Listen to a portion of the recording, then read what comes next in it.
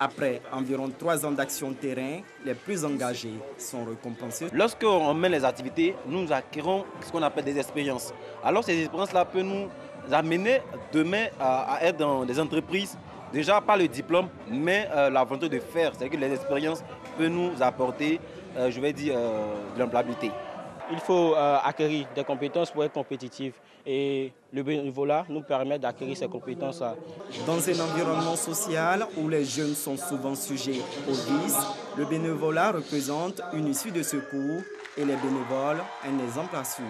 Nous avons fait un guide avec eux et euh, euh, ça, comment ressembler l'évidence, comment présenter un cas, comment travailler avec les autorités. Et là, je pense que ça, c'est des capacités importantes dans toute leur vie, euh, aussi pour, pour les emplois, parce que c'est une manière de communiquer dans une manière professionnelle et, et c'est important. Ma fierté vient du fait qu'on est des jeunes engagés.